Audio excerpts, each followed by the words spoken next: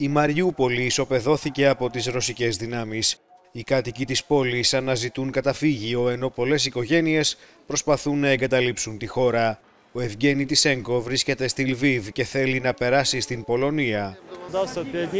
Περπατήσαμε για πέντε ημέρες από χωριό σε χωριό.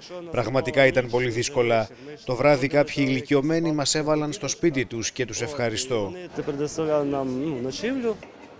Αν και αναγκάστηκαν να εγκαταλείψουν τις αιστείες τους, οι πρόσφυγες νιώθουν ιδιαίτερα περήφανοι για τον Ουκρανικό στρατό.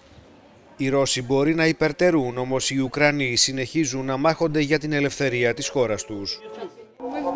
Δεν είχαμε ιδέα πως είναι τόσο δυνατοί. Είναι πραγματικά πολύ γενναίοι και με κάνουν περήφανοι. Νιώθουμε μεγάλη ευγνωμοσύνη, δεν μπορώ να το περιγράψω με λόγια. Έχουμε σπουδαίους πολεμιστές. Ήταν μια πολύ τρομακτική εμπειρία. Φοβηθήκαμε. Ταρακουνήθηκε όλο το τετράγωνο. Χτύπησαν ένα εννιαόροφο κτίριο κοντά στο υπόγειο που κρυβόμασταν.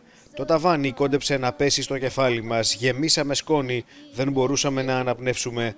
Σκόνη κάλυπτε τα πάντα. Η οικογένεια της Έγκο βρήκε θέσεις στο τρένο και σύντομα θα βρίσκεται μακριά από τον πόλεμο.